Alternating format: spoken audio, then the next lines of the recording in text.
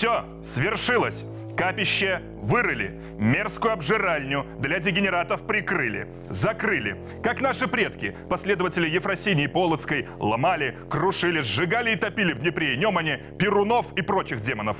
Поганого Макдональдса больше нет в Беларуси. И точка. Так исполняется потаенное.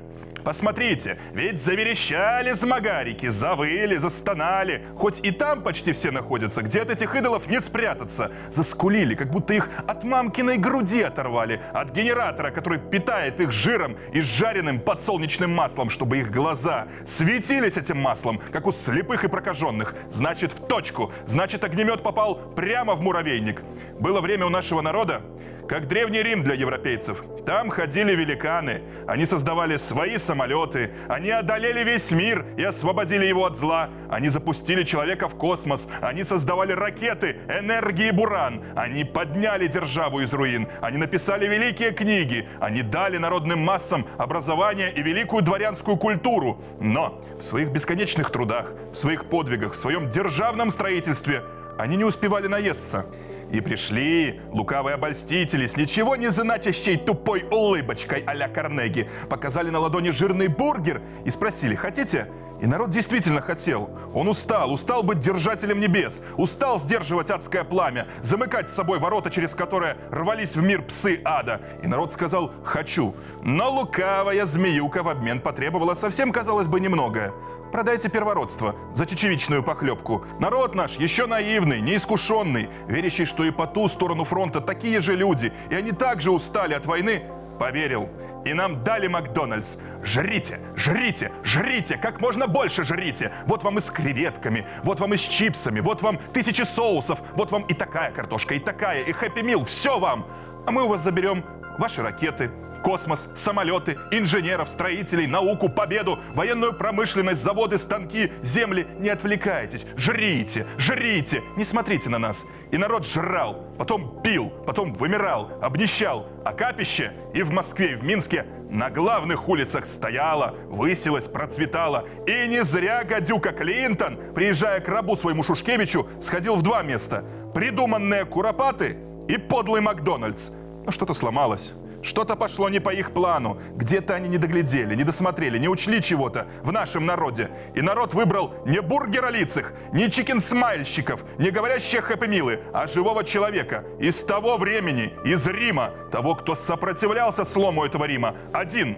И он сумел на данной ему Богом земле отвести народ от пропасти. Отвел его от этих прилавков, где подлые лица вещают «Ваш заказ, пожалуйста!» В бесконечном круговороте пара от масла. Он привел народ вновь в поле. К трактору, к комбайну, к станку, к церкви, к библиотеке, к школе, к зеленым паркам в мегаполисе. К жизни не для туловища, а для души, для великой Родины. У меня пятеро детей, шесть внуков пока, еще будет. Вот, им я говорю э, на одном своих из своих юбилеев, их всех собрал, пятерых, и говорю, ну вот что я понял за, за свою жизнь, в чем вообще цель жизни человека. Но не в том, чтобы побольше что-то нахапать, и туда мы ничего мы не возьмем. Голые приходим, голые уходим. В саване карманов нет. В чем суть? А суть в двух вещах. Первое – это подготовить душу свою для перехода в вечность, чтобы тебе там было комфортно, вечность, а не 70 там, и 80 лет. Какой ты должен прийти туда, вот какой ты уйдешь, такой ты там будешь. Это первое. Но самое главное, и, или равно главное, в чем цель, я говорю детям, это успеть за короткую жизнь послужить Господу и Отечеству. Больших задач у нас нет. Господу и Отечеству. Но сможет ли служить родине обитатель Макдональдса? Ведь там действует другой принцип.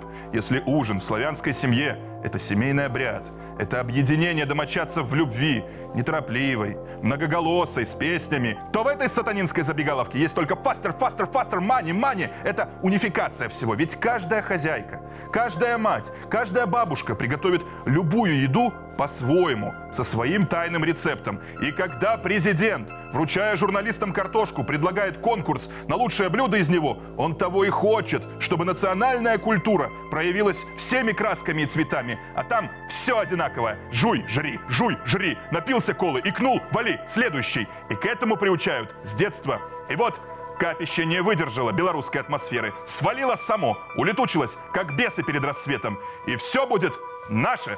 Стали ахать и охать, ах, Макдональдс уходит. Я думаю, слава тебе, Господи, что хоть уходит.